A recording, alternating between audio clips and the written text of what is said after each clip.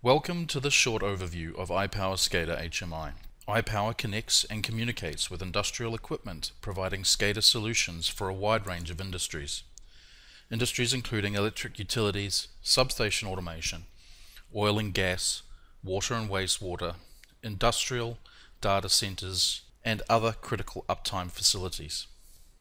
Let's take a look at an example iPower interface iPower provides real-time dynamic data collection and display as well as secure operator control of all types of equipment.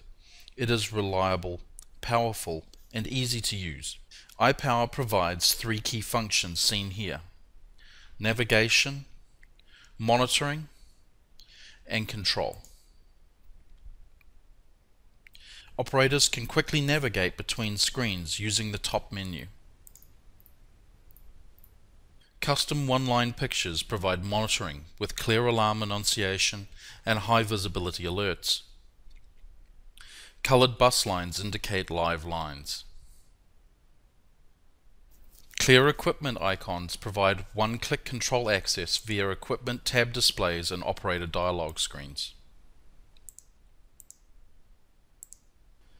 Operators have quick access to a wealth of information, alarms and disabled alarm lists, event lists with sequence of events millisecond detail and auditing of operator changes through secure authentication. iPower provides intuitive and familiar interaction including drag and drop column sorting and smart filters that reflect the structure of your operations.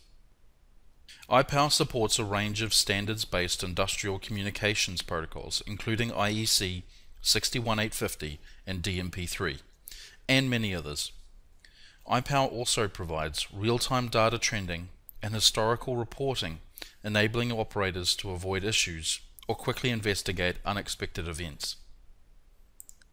iPower provides a scalable architecture for high availability and system growth.